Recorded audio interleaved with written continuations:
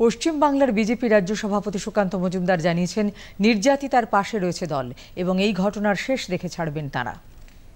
পশ্চিমবঙ্গের কুচবিহারে আমাদের জেলার নেত্রী, তার সাথে যে ধরনের ঘটনা ঘটেছে, এই ঘটনা সত্যি গোটা বাংলাকে নাড়িয়ে দিয়ে গেছে, বাংলার জনমানসকে নাড়িয়ে দিয়ে গেছে। তৃণমূল কংগ্রেসের ইন্টারভিন ছাড়া, তৃণমূল কংগ্রেসের হস্তক্ষেপ ছাড়া পুলিশ এই ধরনের ক্রাইমে এত লঘু ধারা দিতে পারে না।